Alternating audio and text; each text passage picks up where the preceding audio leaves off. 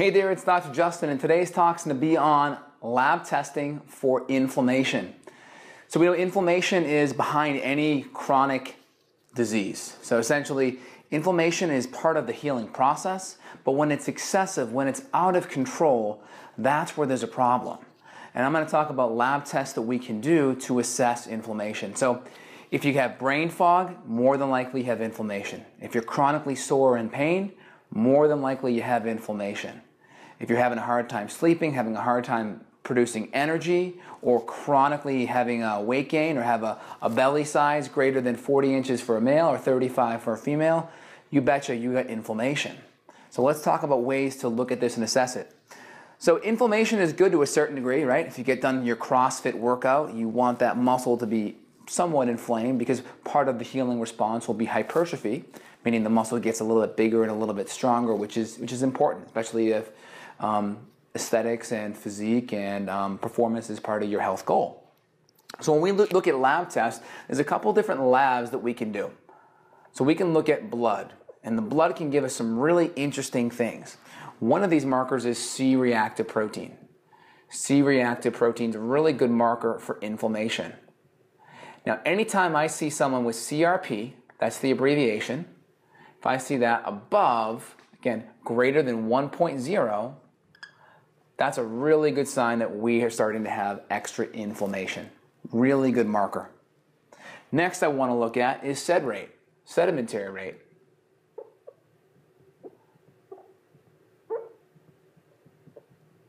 If we see that elevated at all in the lab work, we know that is starting to be a sign of inflammation. So any bit of elevation on the lab, inflammation. Again, what we're looking at here is C-reactive protein. We have inflammatory cytokines, right? Different cytokines here. And what's happening is they're actually going down to the liver. Let me break that down. So we have cytokines. I'll put a big C next to it. And then I'm going to draw the liver.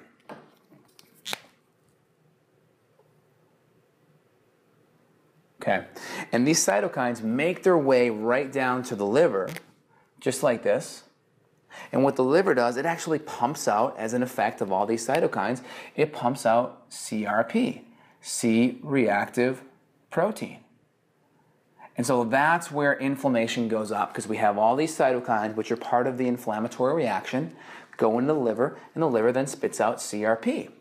And the sedimentary rate is another one. When we see the sed rate higher, it's a sign of inflammation. And when we get inflamed, our cells get really sticky in our blood vessels. So that increases the risk for strokes and heart attacks. Down the list we go here, fibrinogen is another one of these markers. Fibrinogen and sed rate is another one that kind of goes hand in hand. And fibrinogen, it's part of a clotting factor, right? We take fibrin or fibrinogen and we convert it to fibrin. That's what forms our clot. So when we start having going above 250 on a fibrinogen test, this is a sign that we could be excessively clotting, right? Decreased blood flow, decreased blood flow, typically we'll start to see higher blood pressure, and inflammation is usually right behind. So another bad marker there for inflammation. All right, so we have CRP, we have SED, we have fibrinogen. These can all be ordered on your conventional um, blood test. Again, your conventional medical doctor may not order it, but if you see a functional medicine practitioner or a doctor like myself, they should be able to accommodate you. Next, this is a really good marker. Typically, when we're eating excessive sugar and excessive carbohydrate, we're going to be driving inflammation.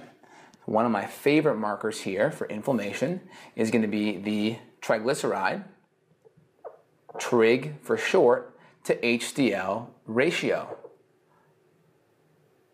Triglyceride to HDL ratio. When that ratio is greater than 2, right? So if we have triglycerides at 100 and we have HDL at 50, that's a 2 ratio. So let's say the trigs are now 101, now we're greater than 2.0. That would be a marker of inflammation.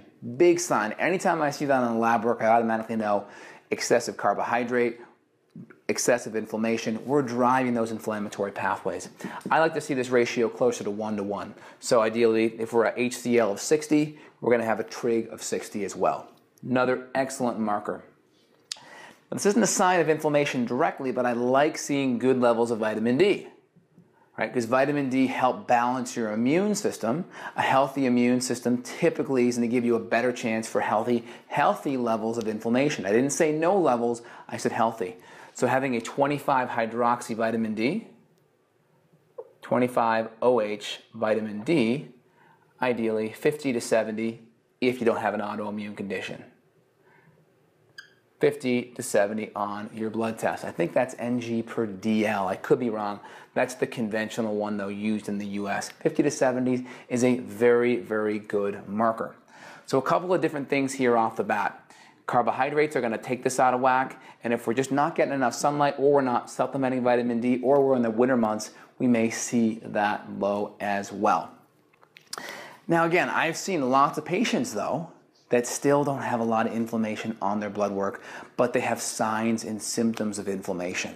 So, other ways in which inflammation can come about that may not be assessed could be food allergens. So, if we're eating common food allergens like gluten or maybe legumes or maybe nightshades for certain people or even FODMAPs, that could be driving inflammation, right?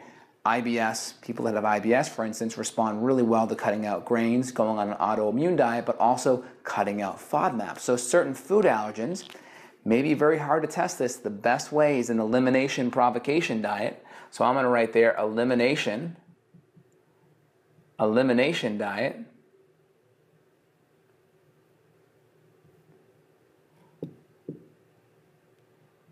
May be the best way to assess if you have food allergens. There are some tests out there that you can do. Not a huge fan of food allergen testing. It tend to be a lot of money where you could already find it out with a basic elimination diet. And next thing I see frequently is you got patients walking around with lots of different infections they don't need to be um, possessing. Right? Everyone has the right to be infection free in my book. So if you still have health challenges or health concerns, you want to look a little bit deeper. You want to look at a really good stool or gut test, stool or gut test for chronic infections. I'm going to put my three favorite here, uh, the BioHealth 401H, GI Effects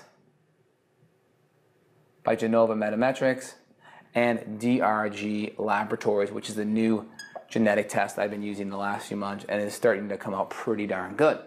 So we have a couple of different things right here. Next, running a chronic co-infection panel. So if you still have symptoms and we've ruled all these things out and the inflammation is still, nothing's coming back on the lab work, we may want to look a little bit deeper at co-infection or Lyme testing. We want to look for Lyme's, Lyme, and co-infections. So what does this mean? So we have Lyme's, Lyme disease. This is Borrelia burgdorferi. We may do a Western blot that looks at the various bands ranging from the 20s up to the 90s in the various bands, IgM and IgG. We may also look at um, an ELISA testing, which is an enzyme-linked um, immunosorbent assay. And we may also look at the various co-infections, Babesia, Bartonella, Ehrlichia, Anaplasma, right? Various co-infections that may reside with a Lyme's patient outside of just Lyme's itself. So we talked about a lot of things here, right? The take-home message is I want you to be infection-free. If we have an infection, it's always good to address that. Number two, we want to look at standard blood chemistries that may tell us if we have markers of inflammation. If we have markers of inflammation, the simplest thing we can do is go on an elimination diet, cut out all the sources of inflammation in our diet.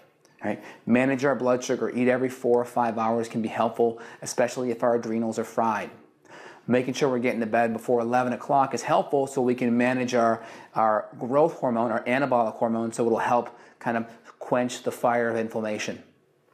And also managing stress, meditation, uh, gratitude, appreciation, things like that are very, very powerful Again, studies have shown good conversation and good communication strategies decrease interleukin 6. So we really want to do our best to uh, have healthy habits in our life that reduce stress and inflammation. And if you're looking for early signs, this video should give you some great strategies. And if you're kind of lingering and not quite sure what direction to go in, feel free and click on the screen or click below to get more access to my free information and how to get a hold of me. Again, this is Dr. Justin here signing off. Have a great night.